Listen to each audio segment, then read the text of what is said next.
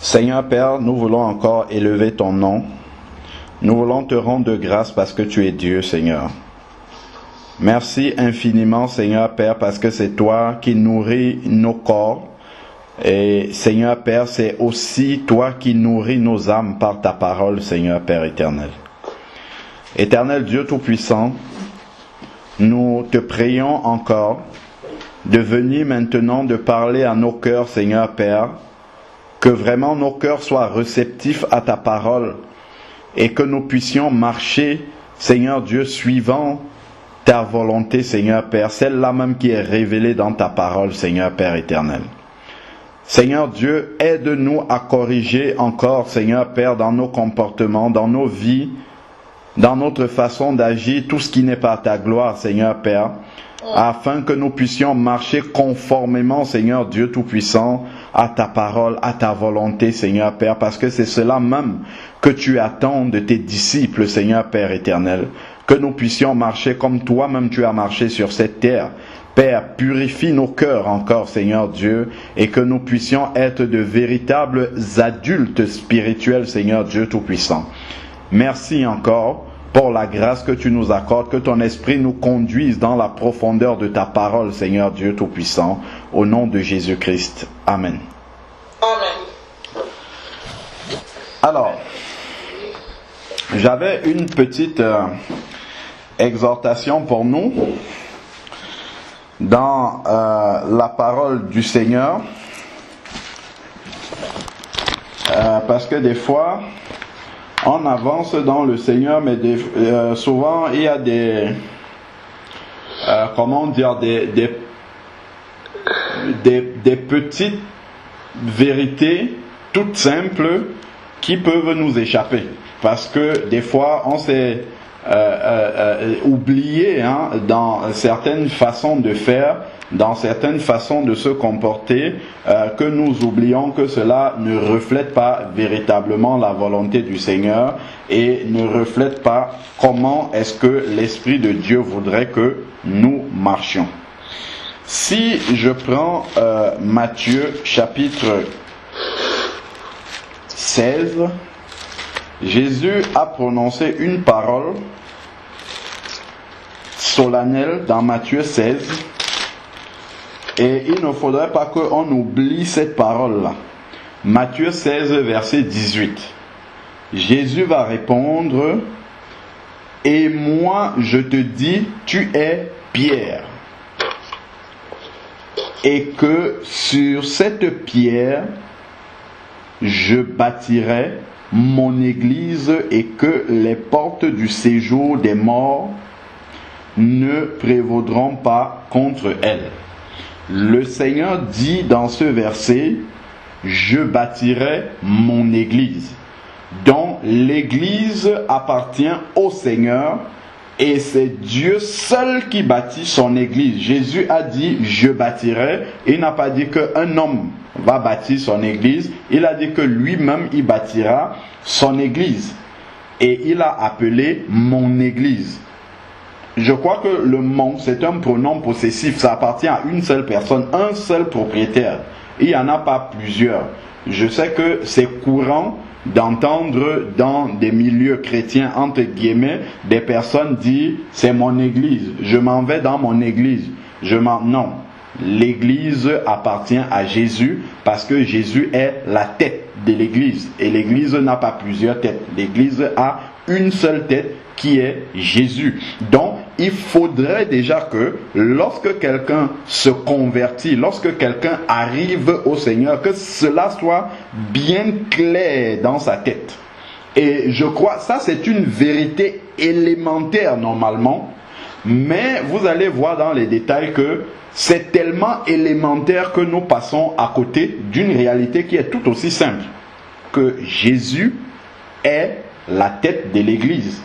Il a dit, je bâtirai mon Église, il est le propriétaire de l'Église, il est l'époux.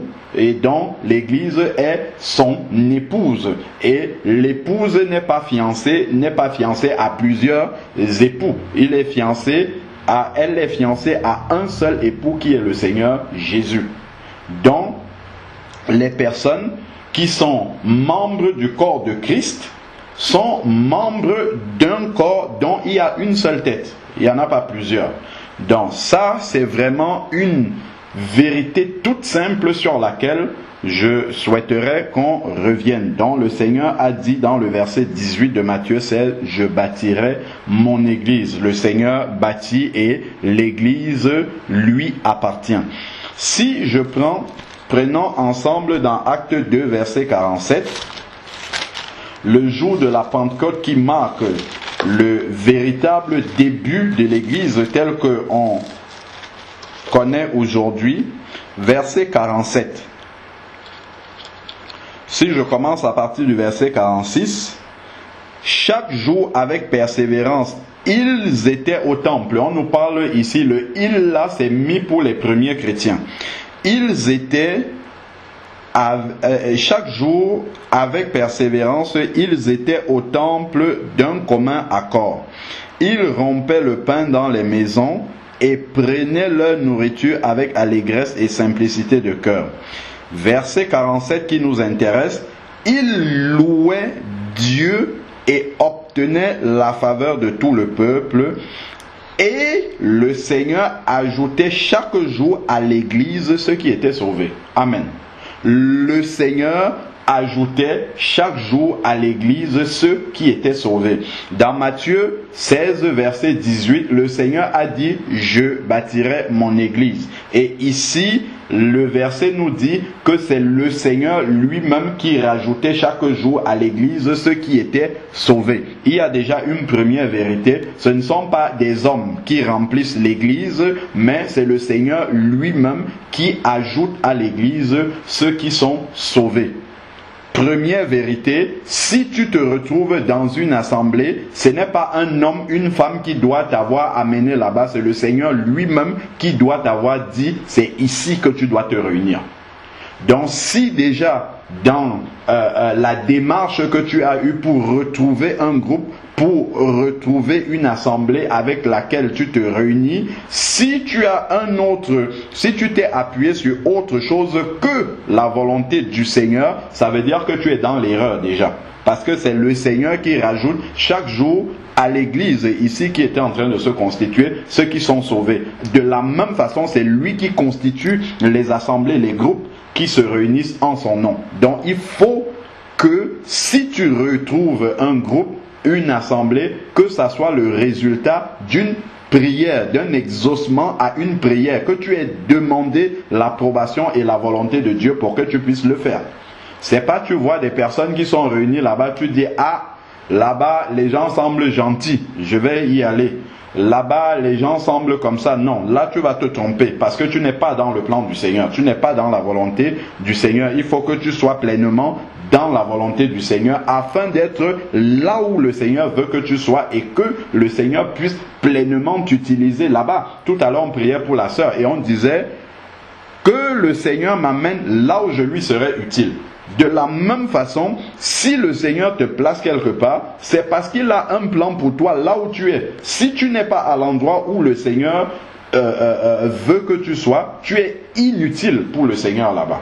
Donc, ici, la Bible nous dit bien que le Seigneur ajoutait chaque jour à l'Église ceux qui étaient sauvés. Amen. Si nous prenons maintenant, on va voir un autre aspect, une autre, euh, euh, comment dire, une autre manifestation du fait que le Seigneur lui-même bâtit l'Église. Acte 13. Prenons acte 13, on va lire les trois premiers versets. Le livre des actes est celui justement qui revient sur la marche de l'Église primitive. Il y avait dans l'église qui était à Antioche des prophètes, des docteurs, Barnabas, Siméon appelé Niger, Lucius de Cyrène, Manahem qui avait été élevé avec Hérode le tétrarque et Saul. Pendant qu'ils célébraient le culte du Seigneur, c'est pas le culte des hommes, c'est le culte du Seigneur, et qu'il jeûnait, regardez ce qui se passe. Le Saint-Esprit dit, Mettez-moi à part Paul et Barnabas. Mettez-moi à part Barnabas et Saul pour l'œuvre à laquelle je les ai appelés. Mettez-moi à part Barnabas et Saul pour l'œuvre à laquelle je les ai appelés. Donc on voit ici que c'est le Saint-Esprit qui a parlé pour désigner parmi les frères ceux qui étaient appelés à un travail du Seigneur. Ce ne sont pas les gens qui unissent unilatéralement comme ça, on dit bon, Saul et Barnabas, vous allez partir à tel endroit, c'est le Saint-Esprit qui a parlé. C'est Jésus lui-même qui a manifesté sa volonté au travers de cette parole du Saint-Esprit. Donc c'est Jésus lui-même qui désigne, qui oint des personnes qui doivent aller faire son travail. Donc cela nous montre encore que c'est le Seigneur lui-même personnellement qui bâtit son église et personne d'autre. Aucun homme ne peut bâtir l'église du Seigneur. Aucune femme ne peut bâtir l'église du Seigneur. C'est le Seigneur lui-même qui bâtit son église, comme c'est écrit dans Matthieu 16, verset 18. Dans ça, on doit bien comprendre que l'avenir de l'Église, Jésus a dit, je bâtirai mon Église et les portes de l'enfer ne prévaudront pas sur elle. Dans Matthieu 16, verset 18, ça veut dire que Jésus lui-même est garant de l'avenir de l'Église. Lui-même est garant de la vie de l'Église. Aucun homme ne peut venir protéger l'Église plus que Jésus ou bien faire l'œuvre plus que ce que Jésus lui-même décide de faire. Donc on doit bien comprendre cela. Ça doit être très clair dans notre tête dès le début de notre conversion. Sinon, on va commencer à manifester des comportements qui ne vont pas dans la volonté du Seigneur et qui ne sont pas ce que la parole de Dieu enseigne. Donc voilà comment le Saint-Esprit lui-même commence à désigner justement ceux qui vont entrer dans l'œuvre du ministère pour faire le travail du Seigneur, pour continuer à, à, à, à, amener et à fortifier les disciples du Seigneur. Alors prenons maintenant Acte chapitre 26, on voit comment le Seigneur oint lui-même des ouvriers et les envoie dans son œuvre. Acte 26, verset 9 au verset 18. Acte chapitre 26, verset 9 au verset 18. C'est l'apôtre Paul qui parle devant le roi Agrippa.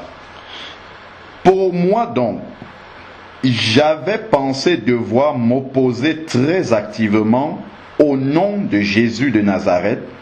C'est ce que j'ai fait à Jérusalem. J'ai moi-même enfermé dans les prisons beaucoup de saints après avoir reçu le pouvoir des principaux sacrificateurs et quand on voulait les faire mourir, j'apportais mon suffrage. C'est-à-dire qu'il était d'accord avec cela. Et souvent, dans toutes les synagogues, pour les punir, je les forçais à blasphémer. Dans l'excès de ma fureur contre eux, je les persécutais, même jusque dans les villes étrangères. À cet effet, je me rendis à Damas avec les pouvoirs et la permission des principaux sacrificateurs. Vers le milieu du jour, ô roi, je vis en chemin briller autour de moi et de mes compagnons de route une lumière venant du ciel, plus brillante que le soleil. Nous sommes tous tombés par terre et j'entendis une voix qui me disait en langue hébraïque, Saul, Saul, pourquoi me persécutes-tu? Il est dur pour toi de regimber contre les aiguillons. Je répondis, Qui es-tu? Qui? Seigneur et le Seigneur dit, moi je suis Jésus que tu persécutes. Mais lève-toi et tiens-toi sur tes pieds, car Voici pourquoi je te suis apparu. Je te destine à être serviteur et témoin des choses que tu as vues de moi et de celles pour lesquelles je t'apparaîtrai. Je t'ai pris du milieu de ce peuple et des païens vers qui je t'envoie. Je, je t'envoie, je qui? Le Seigneur. Je t'envoie pour leur ouvrir les yeux afin qu'ils se tournent des ténèbres vers la lumière et du pouvoir de Satan vers Dieu, qu'ils reçoivent le pardon des péchés et un héritage avec ceux qui sont sanctifiés, mis à part par la foi en qui? En moi. Amen. Donc, il y a beaucoup de vérité dans ce texte-ci. Déjà, un, c'est le Seigneur lui-même qui vient appeler ses ouvriers. On a encore une confirmation qui vient se manifester. Ceux qui sont sanctifiés, qui sont membres de l'Église, c'est parce qu'ils ont, ils ont mis leur foi en, en moi, en, en Jésus. En Jésus, pas en un homme, pas en une dénomination, pas en un mouvement, pas en, c'est vraiment en le Seigneur qu'ils ont mis leur foi à savoir que leur croissance spirituelle ne dépend que du Seigneur. Si tu as mis ta foi en Jésus, ça veut dire que ta croissance spirituelle ne dépend que de Jésus. Voilà d'ailleurs pourquoi il a mis son esprit en toi. Si tu es un enfant de Dieu, tu as reçu l'esprit du Seigneur pour véritablement t'amener à grandir spirituellement et tu dois compter essentiellement sur le Seigneur et son esprit qui habite en toi pour pouvoir grandir, cheminer avec le Seigneur. Voilà le Seigneur lui-même la façon dont il euh, euh, euh, comment dire, il bâtit son église, comme il nous l'a dit tout à l'heure dans Matthieu 16. Prenons maintenant Luc chapitre 10, versets 1 à 3. Nous allons voir que cette même façon de bâtir l'Église était présente dès le début.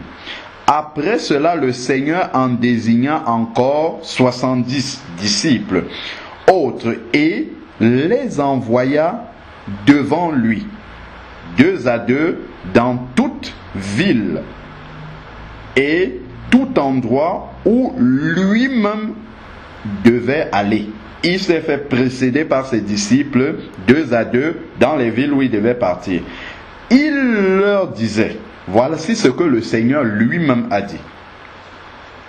Déjà, d'un, c'est le Seigneur lui-même qui envoie les disciples. Ce ne sont pas les disciples qui se lèvent et qui partent.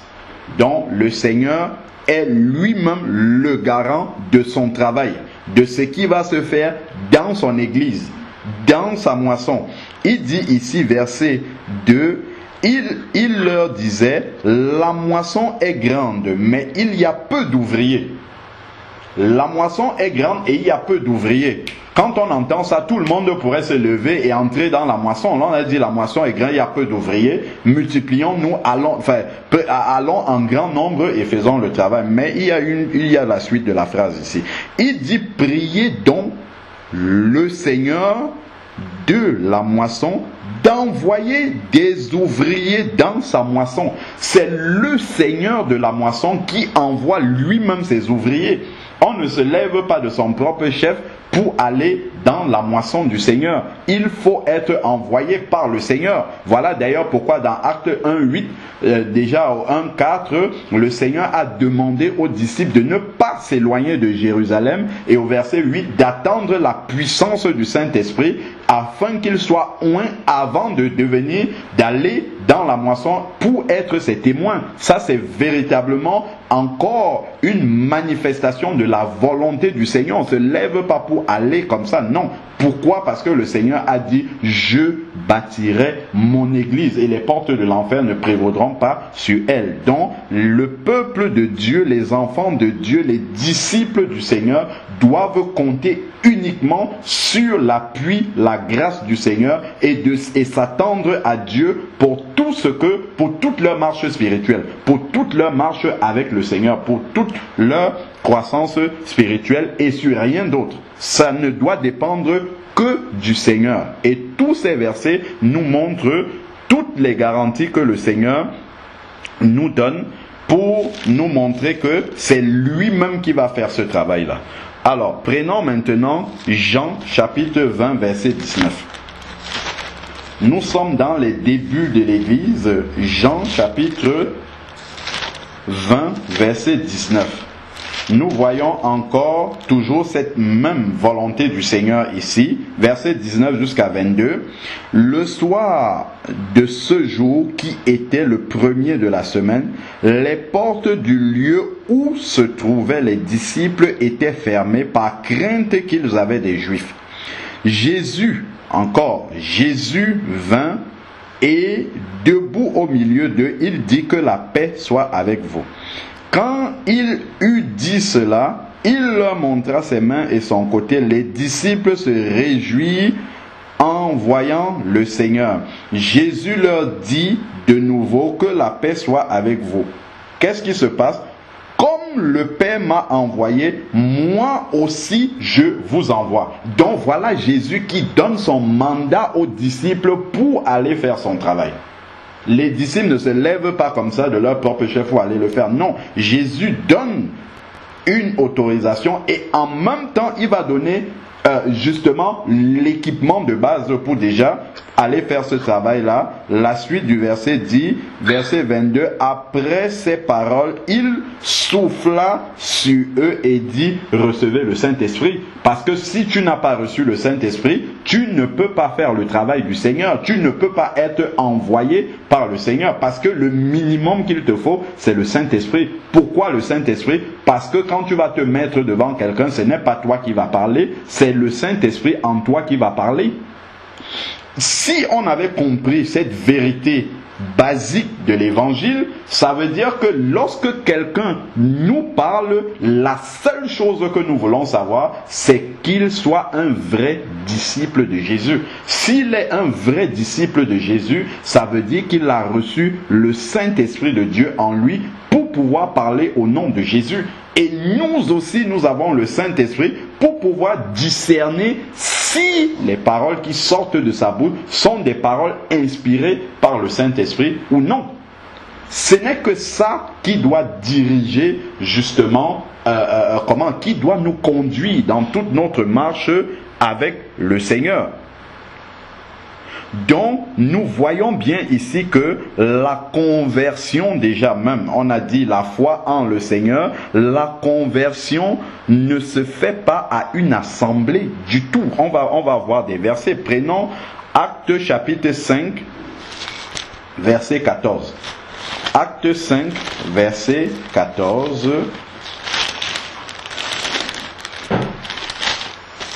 Acte chapitre 5, verset 14 nous dit, la multitude d'hommes et de femmes qui croyaient au Seigneur augmentait toujours plus.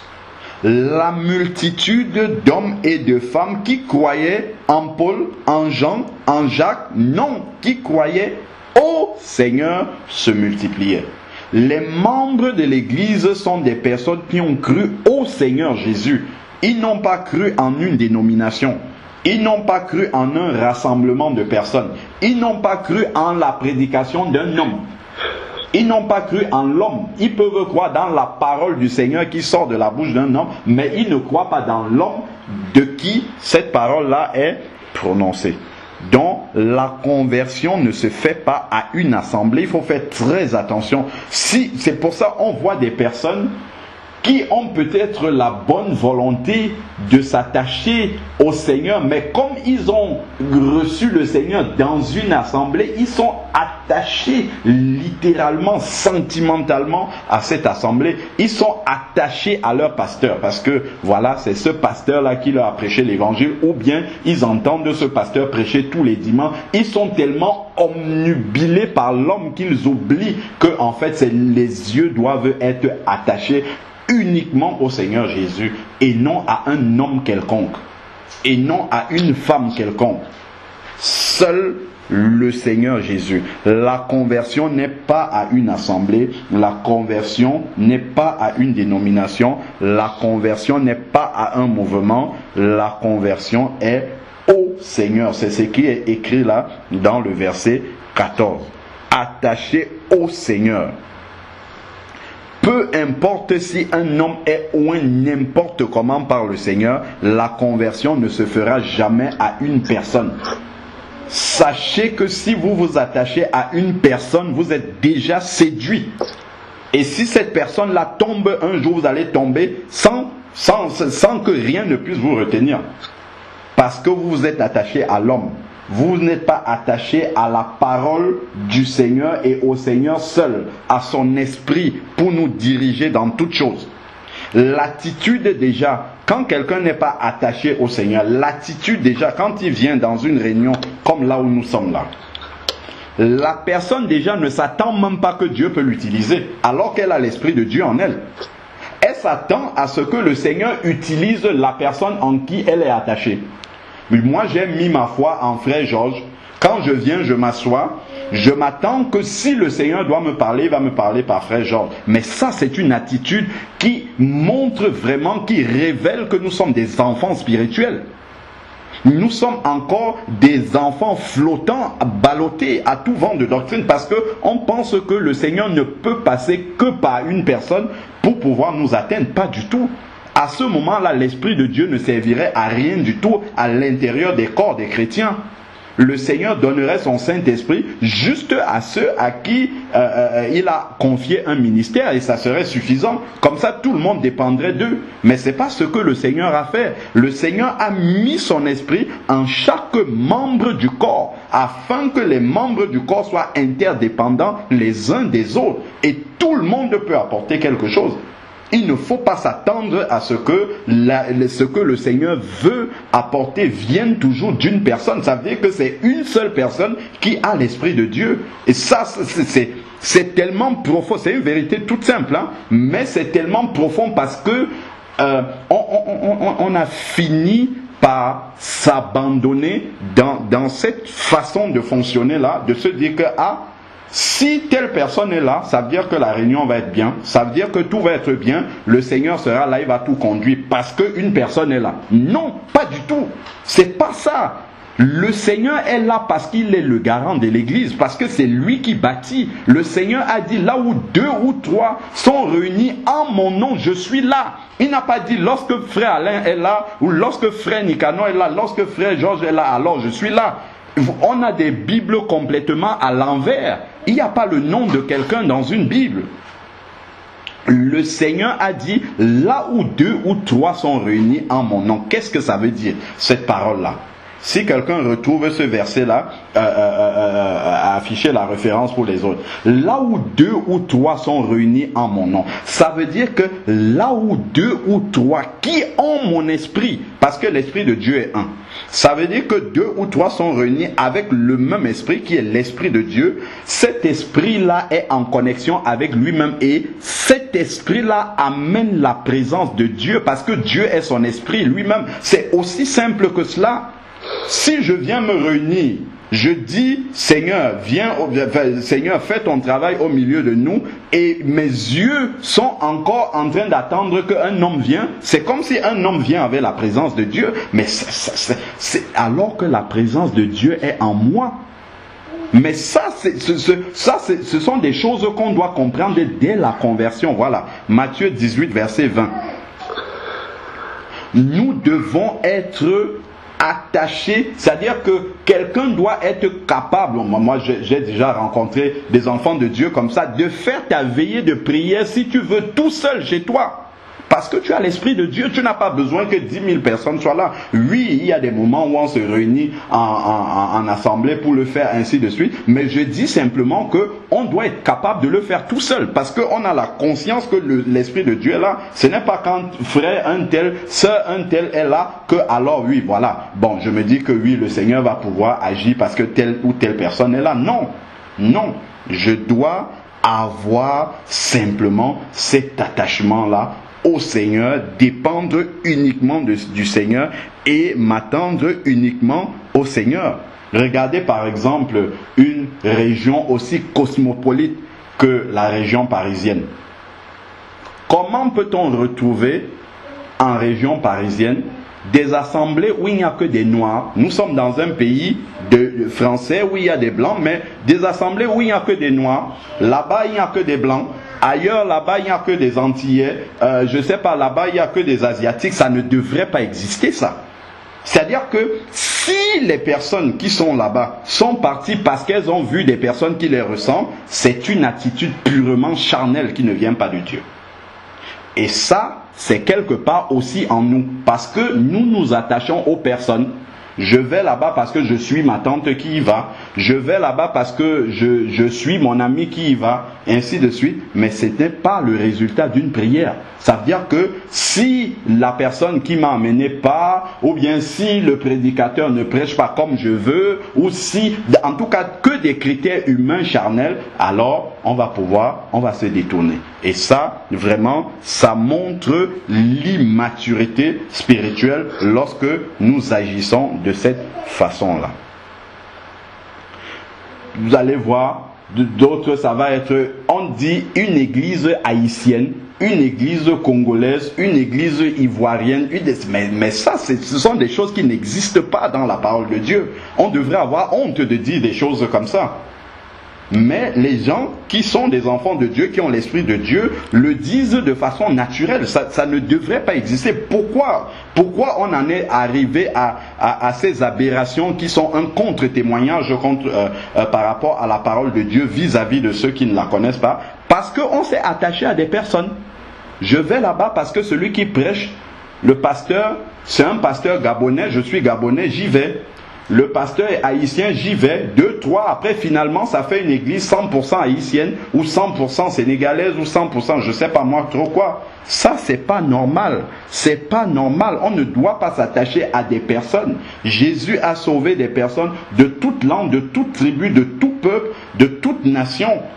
Vraiment c'est assez ça qui est le reflet de l'église. Et Jésus seul est le garant de, et la tête de l'église. Voilà. Si on prend acte 9, verset 35, acte 9, verset 35 nous dit, acte 9, verset 35, tous les habitants de Lyd et de la plaine de Saron le vit et se convertit au Seigneur. Ils ont vu, attends, je commence au verset au verset 34, Pierre, le Seigneur utilisait Pierre pour faire une guérison. Pierre lui dit, Aîné, Jésus te guérit, lève-toi et toi-même arrange ton lit. Et aussitôt il se leva. tous les habitants de Lyd et de la plaine de Saron le vit et se convertit, non pas à Pierre, on aurait pu, ils auraient pu se convertir à Pierre parce que Dieu utilise Pierre pour faire le miracle. Mais vu que Pierre a dû prêcher la parole du Seigneur, on a su que Dieu a juste utilisé Pierre. Les yeux ne sont pas restés sur Pierre. Là, les gens se sont convertis au Seigneur Jésus. D'ailleurs, dans Acte 3, lorsque Pierre, euh, euh, euh, le Seigneur utilisait Pierre et Jean pour guérir le paralytique qui était là-bas. Quand ils sont entrés dans le temple, les gens ont commencé à les regarder. Ils ont dit, mais pourquoi vous nous regardez comme ça? Comme si on avait fait quelque chose d'extraordinaire, comme si c'était par notre piété que nous y, que, nous nous y étions arrivés. Mais c'est par le nom de Jésus, c'est par le nom de Jésus que le Seigneur a lui-même affermi les pieds de cette personne. Je lis, c'est Acte 3, verset 12. Pierre, à cette vue, Dites au peuple, vous Israélites, pourquoi vous étonnez-vous de cela? Pourquoi fixez-vous les regards sur nous comme si c'était nous qui, par notre propre puissance ou par notre piété, avions fait marcher cet homme? Le Dieu d'Abraham, d'Isaac et de Jacob, le Dieu de nos pères, a glorifié son serviteur Jésus que vous avez livré et renié devant Pilate qui avait jugé bon de le relâcher, mais vous, vous avez renié le saint et le juste, et vous avez demandé comme une faveur qu'on vous remette un meurtrier. Et ainsi de suite. Donc, c'est vraiment, et au verset, verset 16, il dit, c'est par la foi en son nom que son nom a rendu. Que son nom, pas un homme, c'est pas Pierre qui a fait cela. C'est la foi en son nom.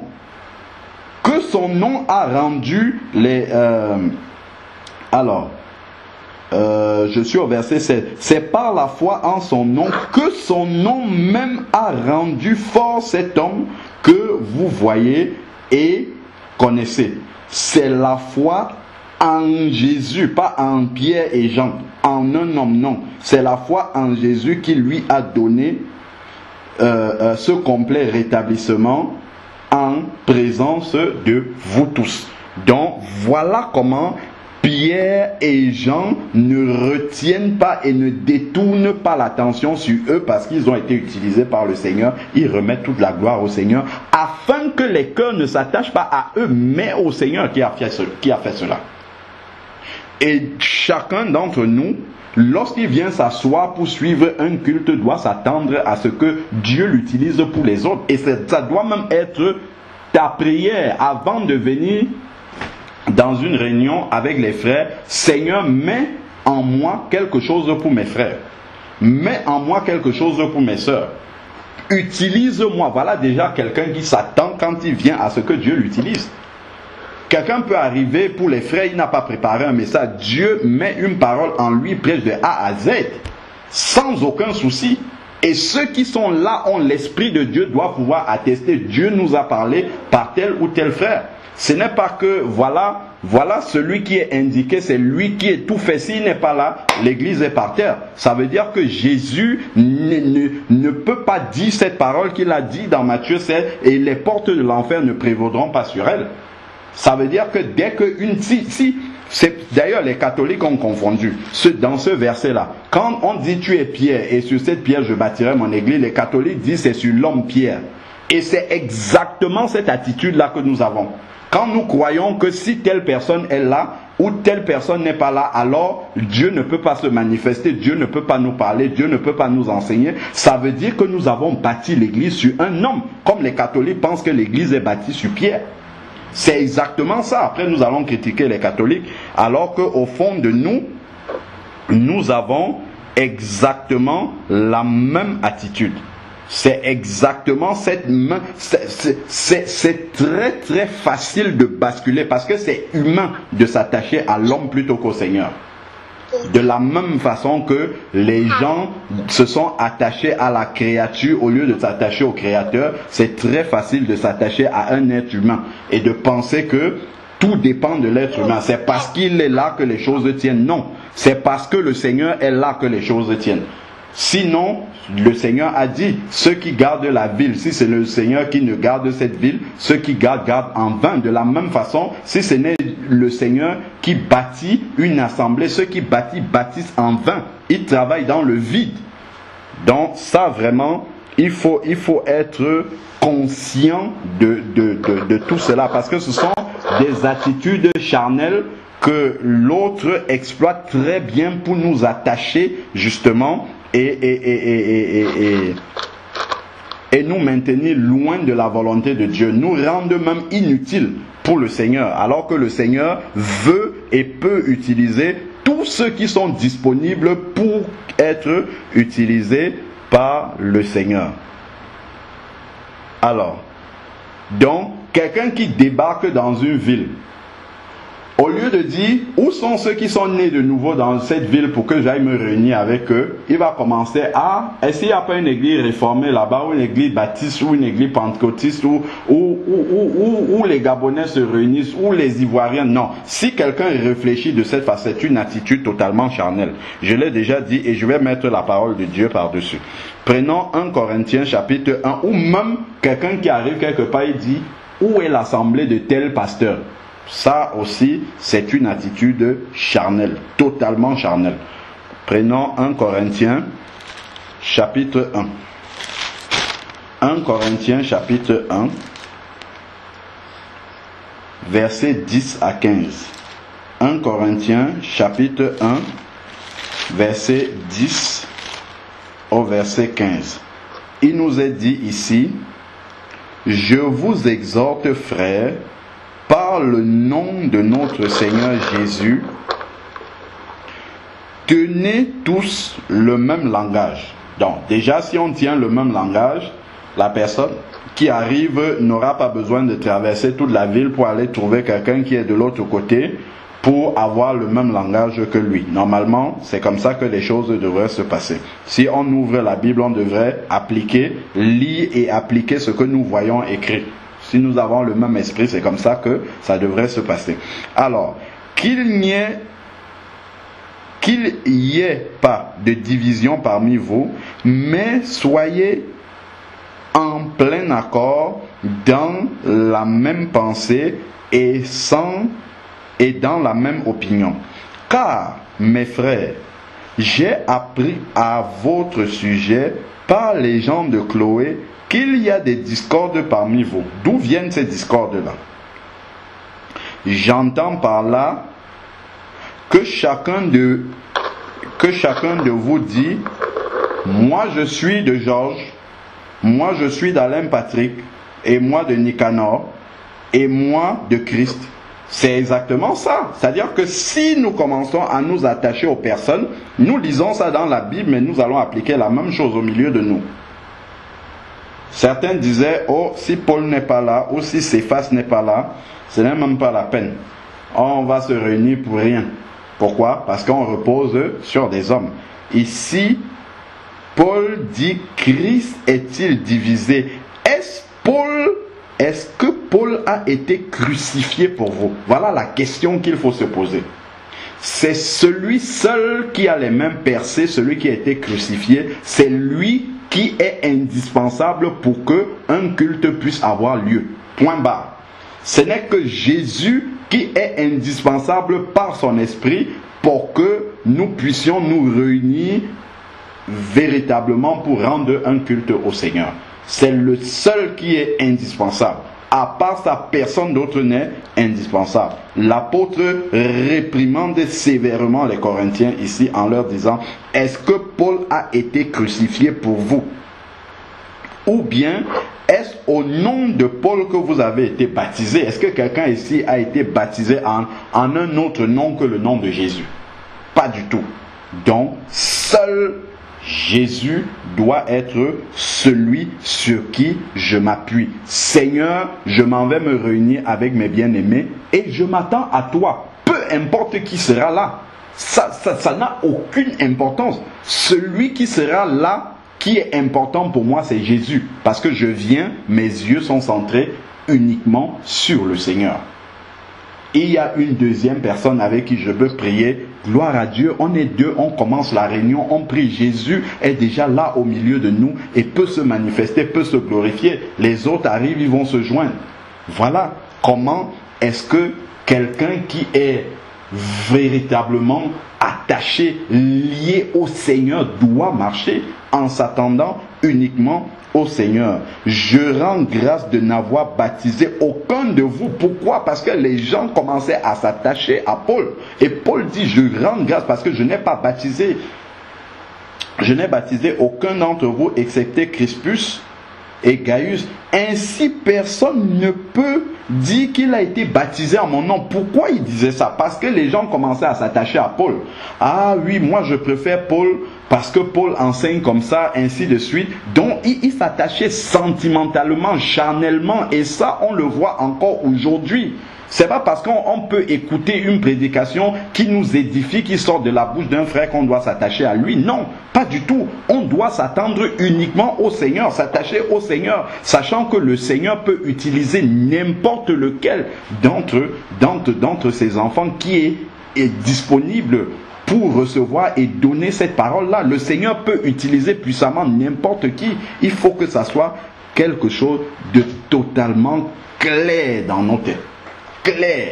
Que toute cette partie de chair qui reste encore présente en nous puisse disparaître au nom de Jésus pour que Jésus lui-même grandisse au milieu de nous.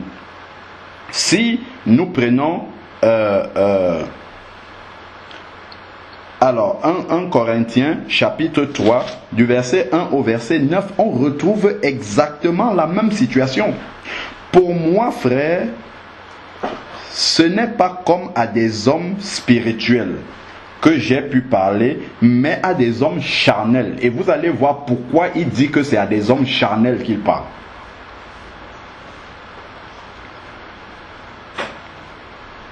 Comme à des petits enfants en Christ. Il les appelle des petits enfants, des hommes charnels, hein, des enfants en Christ.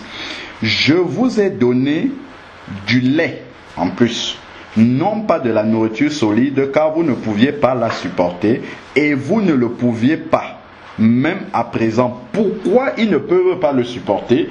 Parce que leur attitude montre qu'ils ne sont pas encore au niveau spirituel de pouvoir recevoir cette parole-là.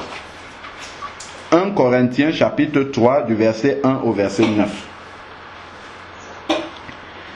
Et vous ne pouvez pas recevoir même à présent. Pourquoi? Parce que vous êtes encore charnel. En effet, pourquoi ils sont charnels? En effet, puisqu'il y a parmi vous de la jalousie, voilà, c'est une œuvre de la chair, et de la discorde, œuvre de la chair, n'êtes-vous pas charnel? Il le dit encore une deuxième, une troisième fois, et ne marchez-vous pas d'une manière humaine, charnelle, humaine. Pourquoi est-ce que il dit que les Corinthiens marchent de façon humaine et charnelle. On il a d'abord déjà parlé de la jalousie, de la discorde, et il annonce c'est quoi cette discorde-là. Quand l'un dit moi je suis de Paul, l'autre moi d'Apollos, n'êtes-vous pas des hommes? C'est-à-dire que si quelqu'un pense que lui en fait, il ne peut comprendre l'évangile que lorsque c'est frère Nicanor qui prêche ou lorsque c'est Alain Patrick qui prêche. Ça veut dire qu'il est totalement charnel, qu'il est un enfant. C'est pas moi qui dis, hein, c'est ce qui est écrit là dans la Bible. Il est charnel, il est un enfant en Christ encore. Il dit, n'êtes-vous pas des hommes? Qu'est-ce que Apollos Qu'est-ce qu'Alain Patrick Qu'est-ce que Georges Qu'est-ce que Calix Qu'est-ce qu'est-ce que euh, euh, euh, Hervé? Des serviteurs par le moyen desquels vous avez cru. Dieu a simplement utilisé quelqu'un, mis une parole dans la bouche de cette personne-là pour t'amener non pas à cette personne, mais à lui. Maintenant que tu es à lui, Dieu se sert de n'importe qui pour te permettre d'avancer, de grandir. Selon que le Seigneur a donné, l'a donné à chacun. J'ai planté, Apollos a arrosé, mais Dieu fait croître. Il faut souligner ça dans la Bible. Celui qui va faire croître la parole en toi, c'est Dieu. Peu importe qui a prêché cette parole-là. Peu importe celui de la bouche de qui la parole est sortie, c'est Dieu qui fait croître cette parole-là en toi. Il faut justement que lorsque tu viens t'asseoir, si tu es une sœur, bon voilà, tu ne vas pas prêcher la parole. Si tu viens t'asseoir pour recevoir une parole, il faut t'attendre à ce que Dieu fasse croître cette parole-là. Que c'est Dieu seul qui va faire croître cette parole. Et non celui qui a prêché la parole. Parce qu'une fois qu'il a prêché, il n'est qu'un instrument entre les mains du Seigneur et rien d'autre. Verset 7. Ainsi, ce n'est pas celui qui plante qui est quelque chose, ni celui qui arrose, mais Dieu qui fait croître. Dieu est tout. Dieu est tout.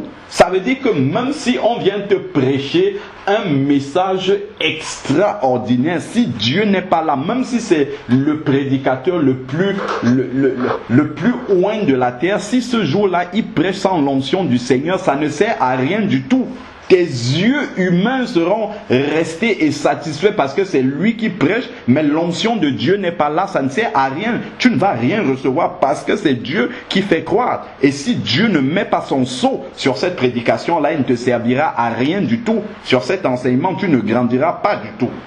Donc, voilà pourquoi tu dois t'attacher au Seigneur et que tes yeux soient uniquement sur le Seigneur ne pas dépendre des hommes, mais dépendre de Dieu seul. Celui qui plante et celui qui arrose, verset 8, ne font qu'un. et chacun recevra sa propre récompense selon son propre labeur, car nous sommes ouvriers avec Dieu, vous êtes le champ de Dieu, l'édifice de Dieu. Le champ de Dieu, l'édifice de Dieu et non le champ des hommes, des ouvriers qui sont en train d'être utilisés par le Seigneur, mais le champ de Dieu seul qui est le garant de tout ce qui va arriver. Donc il faut faire très très très attention à l'attachement sentimental à un homme, à une personne. Il ne faut pas traverser les milliers de kilomètres pour venir trouver quelqu'un qui est ici, qui est un enfant de Dieu comme tout le monde. Et ça, sans aucune exception, Dieu est partout et peut se servir de tous ses enfants, quel que soit l'endroit où ils sont. Alors, prenons maintenant Éphésiens, Éphésiens chapitre 4 du verset 11 au verset 15. Éphésiens chapitre 4, verset 11 à 15. Éphésiens 4, verset 11 dit, c'est lui parlant de Jésus toujours, le garant, le maître, la tête de l'Église. C'est lui qui a donné les uns comme apôtres. Donc voilà Jésus qui bâtit lui-même son Église, donc qui appelle les ministères à son service dans son œuvre. C'est lui qui a donné les uns comme apôtres, les autres comme prophètes, les autres comme évangélistes, les autres comme pasteur et docteur. Pourquoi il a donné ces ministères-là? Voilà là où on s'égare souvent, on ne fait pas attention. Pourquoi il a donné ces ministères? Verset 12. Pour le perfectionnement des saints. C'est-à-dire que quand on arrive, on n'est pas perfectionné, on a besoin de cette parole pour grandir. Pour grandir, pour se perfectionner, cela en vue de l'œuvre du service. C'est-à-dire que Dieu a un plan personnel pour vous-même, pour que vous le serviez vous-même. Chacun a un appel. Chacun a un ministère qu'il doit faire pour le Seigneur. Chacun a un travail. Et les ministères que Dieu a appelés les pasteurs, prophètes, docteurs, sont là simplement pour vous aider à entrer dans votre propre ministère et à dépendre de Dieu seul pour la suite de ce ministère. Les ministères que Dieu a appelés ne sont pas là pour être des intermédiaires entre Dieu et vous, ou bien pour remplacer Dieu ou Jésus dans votre vie. Pas du tout. Ils sont là pour vous aider à devenir indépendant d'eux et à vous attacher uniquement au Seigneur, afin qu'il ne vous serve même plus à rien du tout. Et que ça soit Jésus seul qui vous serve à quelque chose. C'est ça le but normalement du ministère. Le but, c'est pas de rendre les gens dépendants, c'est de rendre les gens totalement indépendants du ministère et totalement dépendants du Seigneur Jésus apprendre aux gens à se connecter eux-mêmes au Seigneur Jésus. Tu as quelque chose, au lieu de venir demander, frère Alain, ceci, cela, je peux te donner un verset, mais va prier sur ce verset. Le Seigneur te révélera ce qui est la volonté du Seigneur. C'est ça véritablement le rôle des ministères que le Seigneur met auprès de nous. Les ministères ne doivent pas devenir comme une béquille sur lesquelles nous nous appuyons.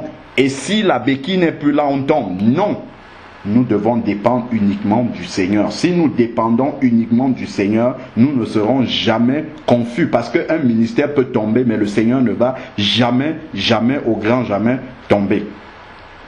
Alors, il dit jusqu'à verset 13, euh, fin verset 12, et de l'édification du corps de Christ jusqu'à ce que nous soyons tous parvenus à l'unité de la foi et de la connaissance du Fils de Dieu. Donc voilà le rôle du ministère, nous aider à connaître, à nous attacher davantage au Fils de Dieu. Parce que plus tu vas t'attacher à Jésus, plus tu vas te détacher du ministère pour t'attacher à Jésus seul. Le ministère t'aide juste à te connecter, à comprendre, à connaître davantage le Seigneur pour que tu sois lié non pas au ministère, mais au Seigneur Jésus seul à l'état d'homme fait. Quand tu seras lié au Seigneur Jésus seul, tu seras à l'état d'homme fait.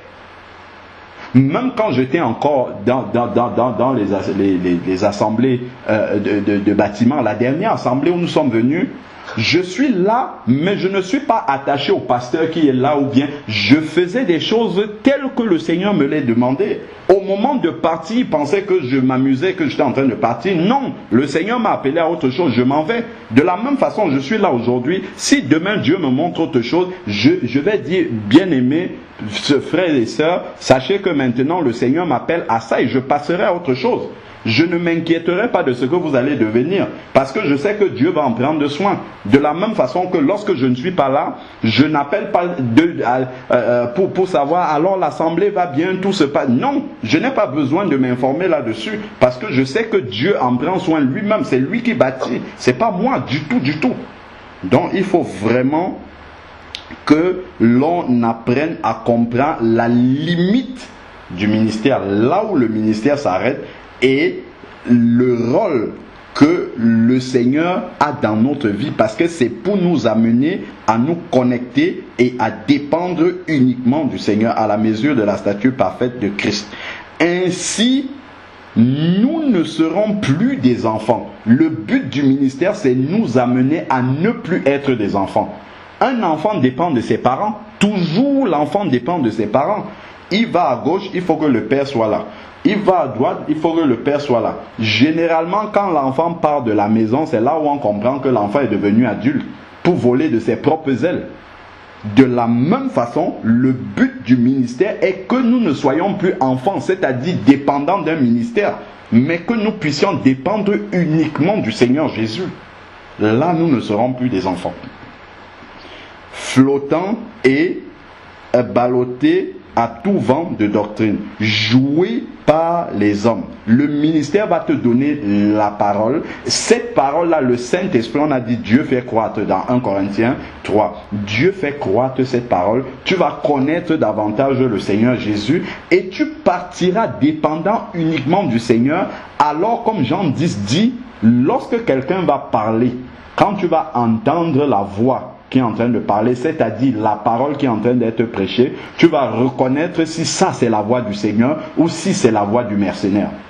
Pourquoi? Parce que au départ de ta conversion, tu étais un enfant, Dieu a utilisé un ministère pour t'aider à mieux discerner sa voix, à mieux comprendre la voix du Seigneur. Mais quand tu deviens grand, tu n'as plus besoin qu'on te dise, ah, c'est le Seigneur qui parle là-bas. Non, le Saint-Esprit en toi atteste que ce que j'entends, c'est la parole de Dieu. Ça, ça vient vraiment du Seigneur. Et l'autre, c'est une fausse doctrine. Et ainsi de suite. C'est ça le but. Et le ministère s'arrête là, il te laisse continuer à avancer, à grandir, à dépendre uniquement de Dieu et non à, dépendre de lui.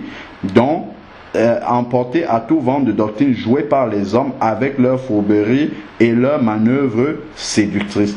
Mais en disant la vérité avec amour. Le rôle du ministère te dit, te donner cette vérité-là qui va t'aider pour la suite. Nous croîtrons à tous égards. Nous croîtrons en quoi? En celui qui est le chef. Le but du ministère, c'est d'amener à croître en Jésus, c'est-à-dire à t'enraciner davantage en Jésus pour dépendre uniquement du Jésus, afin que toi-même tu puisses désormais entendre marcher avec le Seigneur de façon totalement indépendante. Voilà le but pour lequel le Seigneur a établi les ministères. Il faut bien comprendre que ce n'est pas une béquille de laquelle nous devons dépendre pour toute notre vie spirituelle. Pas du tout. C'est que là, on n'a pas compris. Encore moins dépendre d'une personne. Dépendre d'un homme, d'une femme, ou bien de, quelque chose d'un humain. Si, regardons un peu quelques petites situations qui se trouvent dans la parole de Dieu pour voir un peu comment les apôtres eux-mêmes ont compris les vérités que nous sommes en train de dire. Prenons Acte chapitre 14, versets 19 à 22. Acte 14, versets 19 à 22, il nous est dit, acte 14, versets 19 à 22, puis survint d'Antioche et d'Iconium des Juifs qui gagnèrent la foule lapidèrent Paul et le traînèrent hors de la ville, pensant qu'il était mort. Mais les disciples l'entouraient et il se leva et entra dans la ville. Donc il est entré dans une autre ville. Le lendemain, il partit pour Derbe avec Barnabas. Qu'est-ce qui va se passer? Après avoir évangélisé cette ville, regardez bien, Paul et Barnabas entrent dans la ville de Derbe. Ils évangélisent la ville, ça veut dire c'est une ville qui n'a pas encore reçu Jésus il, après avoir évangélisé cette ville et fait un assez grand nombre de disciples, dont c'était des jeunes, des tout jeunes convertis, des bébés en Christ, qu'est-ce qu'il fait? Il retournait à Lystre et à Iconium et à Antioche. Je reprends verset 21 après avoir évangélisé cette ville et fait un grand nombre de disciples, ils retournèrent à Lystre, à Iconium et à Antioche. Verset 22. Ils affermissaient l'âme des disciples et les exhortaient à demeurer dans la foi et disaient, c'est par beaucoup de tribulations qu'il nous faut entrer dans le royaume de Dieu. Ils firent nommer, verset 23, pour eux des anciens dans chaque église, et après avoir prié et jeûné, ils les recommandèrent au Seigneur en qui ils avaient cru. Regardez une aussi jeune assemblée des jeunes convertis qui viennent de croire au Seigneur, puis ils sont tous nouveaux là, ils, sont, euh, euh, ils viennent de recevoir le Seigneur. Qu'est-ce que les apôtres font? Ils leur donnent des enseignements de base, des exhortations, ils prient avec eux, ils jeûnent avec eux et ils les recommandent au Seigneur en qui ils ont cru. Ils n'ont pas dit, bon, voilà, vous êtes des jeunes convertis, vous allez dépendre de nous. Nous allons rester là, nous allons vous enseigner pendant 25 ans et vous... Non, ils ont cru au Seigneur, ils leur recommandent au Seigneur en qui ils ont cru. Des jeunes convertis, voilà l'attitude des apôtres. Les apôtres sont repartis n'étant pas inquiets du tout de ce que devaient devenir ces nouveaux convertis. Pourquoi? Parce qu'ils ont cru au Seigneur et le Seigneur lui-même est garant de leur croissance spirituelle et de rien d'autre.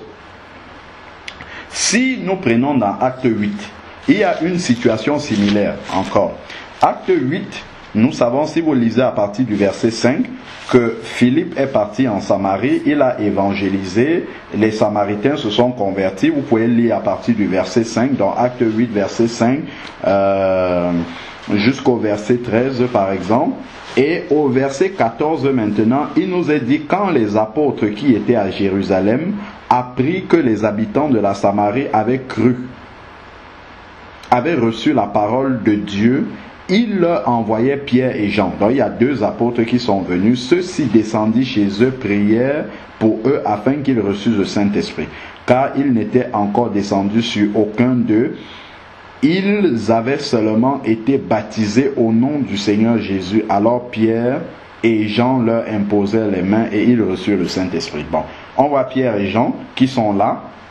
Allons maintenant au verset 25 très intéressant. Pierre et Jean sont venus, verset 25, après avoir rendu témoignage et annoncé la parole du Seigneur. Donc ça, c'est Pierre et Jean qui ont annoncé la parole du Seigneur aux Samaritains. Ils retournaient à Jérusalem en évangélisant plusieurs villages des Samaritains. Pierre et Jean, ils ont imposé les mains, ils ont enseigné la parole de Dieu et ils retournent. Donc il laisse cette jeune assemblée. Bon, on va dire, ah, il y a encore Philippe, l'évangéliste qui était là. Verset 26, qu'est-ce que le Seigneur fait? Un ange du Seigneur adressa la parole à Philippe, lève-toi et va du côté du midi sur le chemin qui descend de Jérusalem à Gaza, celui qui est désert. Les apôtres Pierre et Jean sont partis. L'ange du Seigneur vient maintenant, il enlève Philippe les jeunes samaritains nouvellement convertis au Seigneur, à qui vont, vont-ils être confiés À la grâce de Dieu? Pourquoi? Parce que c'est le Seigneur lui-même qui bâtit son Église. Les Samaritains ici auraient pu dire, oh oh, Philippe, tu nous laisses comme ça, on vient de recevoir la parole, qui va nous enseigner, comment ça va se passer, qu'est-ce qu'il faut. Non, le Seigneur lui-même est venu enlever Philippe et les apôtres ont enseigné, ils sont repartis. Voilà les Samaritains qui sont confiés à la grâce de Dieu et vont grandir spirituellement en dépendant uniquement du Seigneur et non à rien d'autre. Et non de rien d'autre. Donc vraiment, ces exemples-là sont pour nous montrer véritablement que c'est le Seigneur seul sur qui nous devons être accrochés et non à quelqu'un, à une personne humaine, à, une, à, quelque chose d'autre que le Seigneur, pour notre croissance spirituelle. Donc, euh, et, cela ne, ça, ne semble pas poser un problème. Donc, si nous regardons ici dans 2 Timothée, chapitre 2, versets 8 à 9. 2 Timothée, chapitre 2, versets 8 à 9 il y a quelque chose d'assez clair, encore que euh, euh, Paul dit à Timothée, qui, devrait justement nous aider à comprendre que le ministère ne dépend pas d'une personne, la parole de Dieu ne dépend pas d'une personne. 2 Timothée chapitre 2 verset 8 à 9. Il est dit ici, Souviens-toi de Jésus-Christ ressuscité d'entre les morts issu de la descendance de David selon mon évangile. Souviens-toi de Jésus-Christ. Verset 9. Pour lequel je souffre, mon évangile pour lequel je souffre, jusqu'à être lié comme un malfaiteur. Donc voilà Paul qui est mis hors course, hors possibilité de continuer à exercer le ministère. Voilà la phrase qu'il faut que tu soulignes dans ta Bible. Mais la parole de Dieu n'est pas liée. C'est-à-dire, elle n'est pas liée, elle n'est pas enfermée. C'est pas parce qu'on l'a mis en prison que la parole ne peut pas être continuée à prêcher. Pourquoi? Parce que cette parole-là habite dans les hommes que Dieu a choisis. Dieu peut parler au travers de n'importe lequel. C'est pas parce qu'on a mis justement les païens qui ne connaissent pas la parole de Dieu pensaient qu'en mettant Paul en prison, c'est fini, Dieu ne peut plus parler. Non, Dieu peut continuer à parler par quelqu'un d'autre. De la même façon, si un frère qui prêche la parole n'est pas là, Dieu continue à et même s'il est là, Dieu parle au travers de n'importe lequel. L'apôtre Paul pouvait être là, Dieu parle au travers de Timothée, de Silas, ou bien de Barnabas, ou bien de n'importe lequel. Donc ça, ce sont vraiment des versets qui sont là pour nous montrer que l'Église ne dépend que du Seigneur. Il y a encore quelques versets, hein, qu'on peut lire Acte 11, verset 21, qui nous montre des personnes qui se convertissent au Seigneur. Acte 11, verset 21, la main du Seigneur était sur eux. Attends, si je prends le verset 20. Il y eut parmi eux quelques hommes de Chypre et de Cyrène, acte 11, verset 20, qui, venus à Antioche, parlaient aussi aux Grecs et leur annonçaient la bonne nouvelle de Jésus. La main du Seigneur était avec eux et un grand nombre et grand fut le nombre de ceux qui crurent et se convertirent au Seigneur, au Seigneur. Acte 11, verset 20 à 21. Il se convertit au Seigneur, pas à un homme, pas à des personnes qui leur ont prêché l'évangile. Non.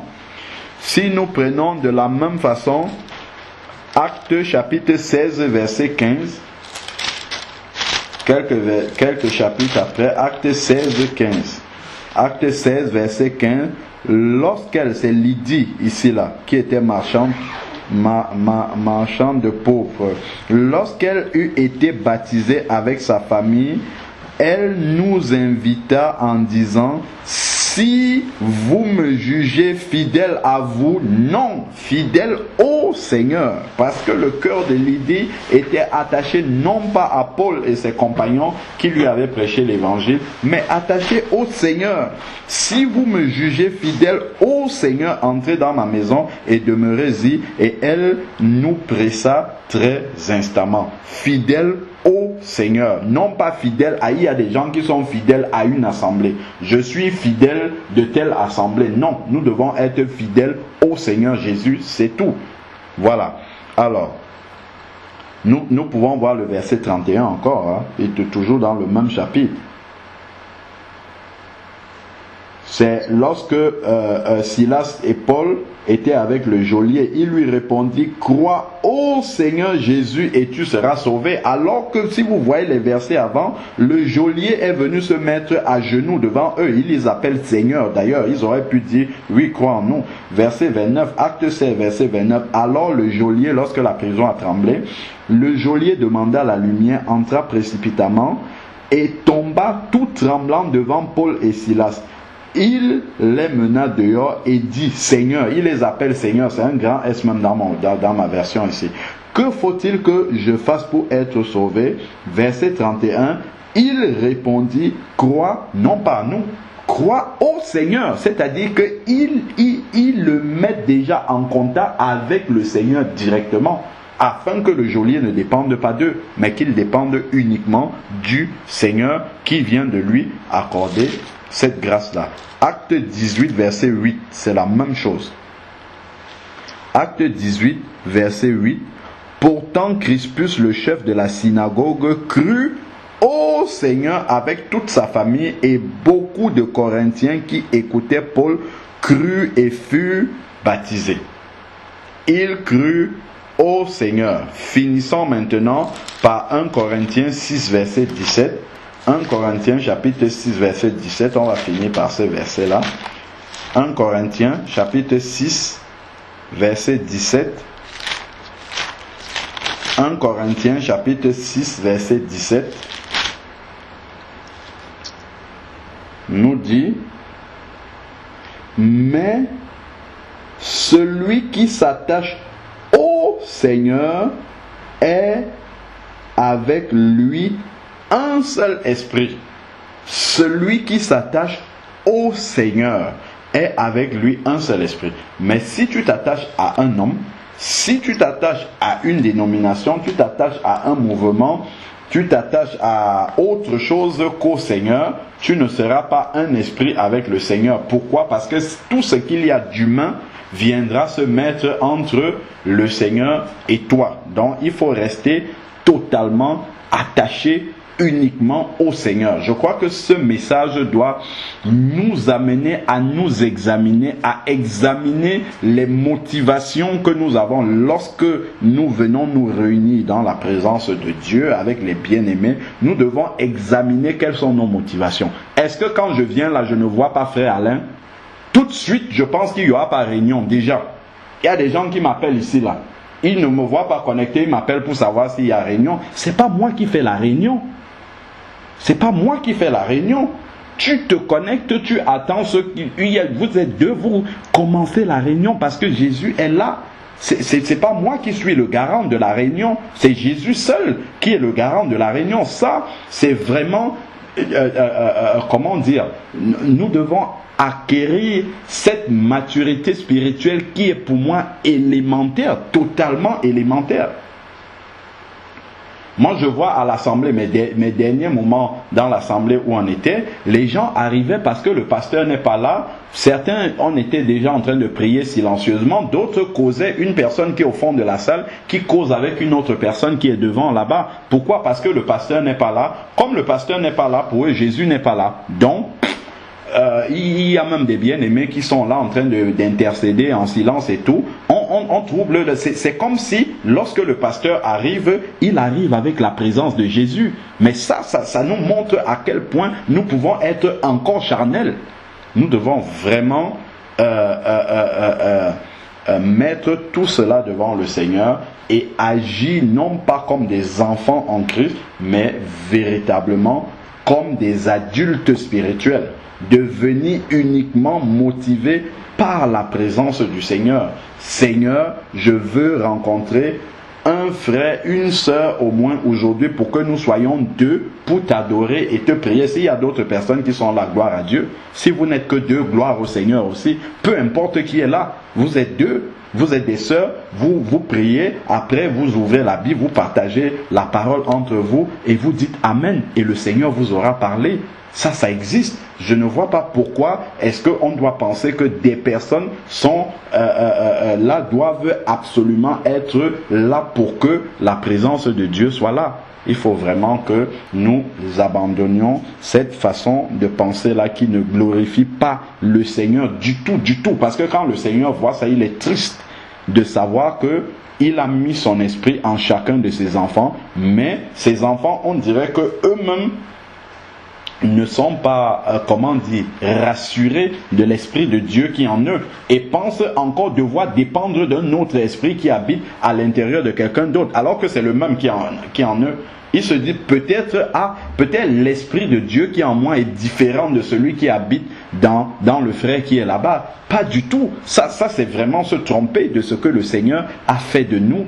Nous devons véritablement être de nouvelles créatures. Voilà pourquoi l'apôtre Paul, dans, euh, c'est dans Éphésiens 1, il dit, je prie pour vous que le Seigneur ouvre les yeux de votre intelligence. Et je crois que c'est là vraiment que nous avons des sérieux problèmes. C'est illumine, c'est 1 Corinthiens, euh, Éphésiens chapitre 1, euh, euh, verset 16 à 18. Il dit, je ne cesse de rendre grâce pour vous, je fais mention de vous dans mes prières afin que le Dieu de notre Seigneur Jésus-Christ, le Père de gloire, vous donne un esprit de sagesse et de révélation qui vous le fasse connaître, qu'il illumine les yeux de votre cœur. C'est ça le problème des enfants de Dieu. C'est que nos yeux sont fermés sur la révélation de la parole de Dieu, la révélation de qui nous sommes en Christ. Nos yeux sont fermés là-dessus. On pense que c'est l'autre qui est quelque chose en Christ et nous rien du tout. Alors que c'est le même esprit, la même nouvelle créature qui en nous. Qu'il illumine les yeux de notre cœur afin que vous sachiez quelle, euh, euh, euh, quelle est l'espérance qui s'attache à votre appel? Quelle est l'espérance qui s'attache à votre appel individuellement? Ce n'est pas l'appel de quelqu'un d'autre. Quelle est la glorieuse richesse de son héritage au milieu des saints? Et quelle est la grandeur surabondante de sa puissance envers nous qui croyons, nous tous qui croyons, selon l'action souveraine de sa force.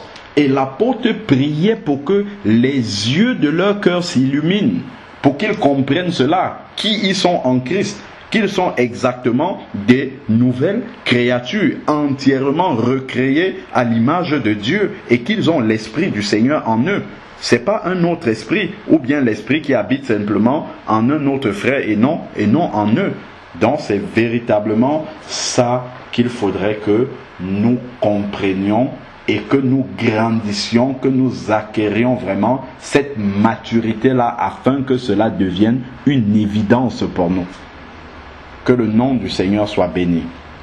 Seigneur Père, je veux te bénir encore pour cette parole que tu viens de nous donner, Seigneur Père, pour nous rappeler, Seigneur Père, que c'est toi seul qui est la tête de l'Église, c'est toi seul qui est le garant, Seigneur Père de l'Église, c'est toi seul qui bâtit l'Église, Seigneur Père éternel, c'est toi qui as mis ton esprit en nous afin que nous dépendions uniquement de toi, Seigneur Père, et non d'un être humain.